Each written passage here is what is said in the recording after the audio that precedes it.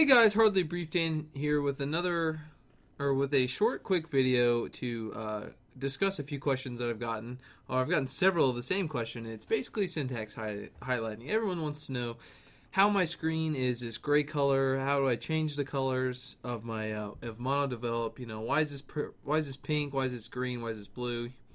How to change this, and uh, it's extremely simple. And I suggest you guys play around with whatever you like. Um, basically it's called syntax hi- highlighting and syntax highlighting changes uh, the way uh, your coding uh, compiler works in this case monodevelop and the way to edit your or to change your syntax highlighting in monodevelop is extremely simple.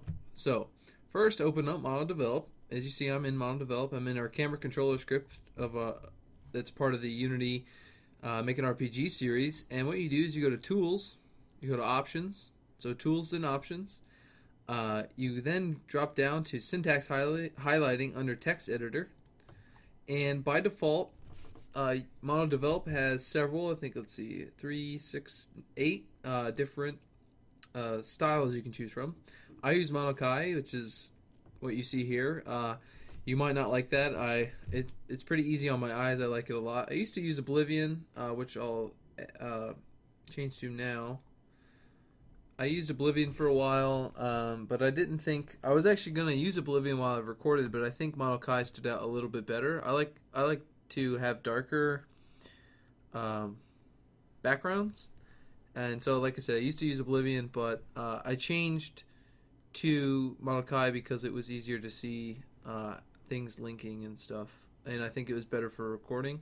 So again, you go Tools, Options under text editor, you go to syntax highlighting and uh, change around what you like. I'm going to go back to Monokai because that's what I like. Um, you can actually write your own. Uh, I believe it's the. Uh, they are either JSON files or XML files that allow you to edit uh, your syntax highlighting.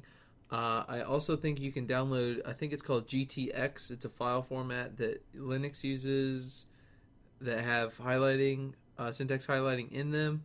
Uh, just look around the internet though, and you'll you should be able to find a few. But anyways, uh, this is just a short video to show you guys how to use syntax highlighting in MonoDevelop. Uh, if you found this helpful, like, subscribe, comment, and I'll talk to you guys next time.